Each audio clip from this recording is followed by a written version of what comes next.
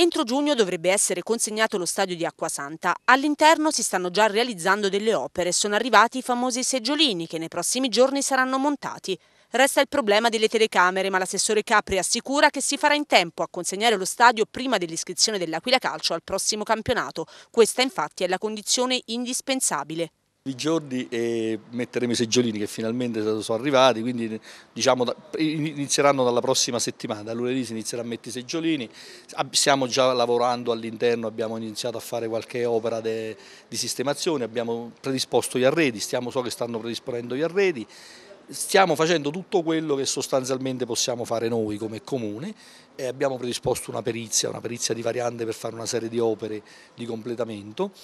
E il problema principale sono le telecamere, nel senso a questo punto diciamo che manca solo la, la, materialmente l'inizio e la fine dei lavori sulle telecamere, che dovrebbe iniziare nei prossimi giorni, tempo 30 giorni, metà maggio dovrebbe essere concluso. Uno dei nodi da sciogliere sarà anche quello del campo di allenamento adiacente ad Acquasanta. La questura vorrebbe farne, a quanto pare, un parcheggio, ma il comune preme affinché resti un campo a servizio della squadra.